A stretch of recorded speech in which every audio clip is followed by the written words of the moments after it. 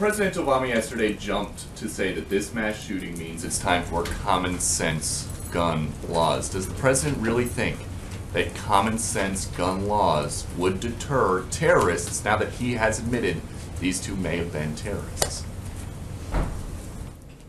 Yes.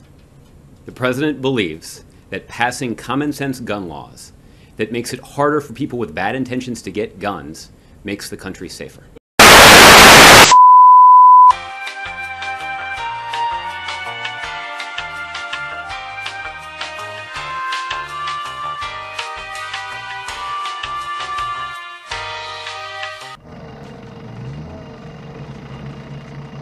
shitter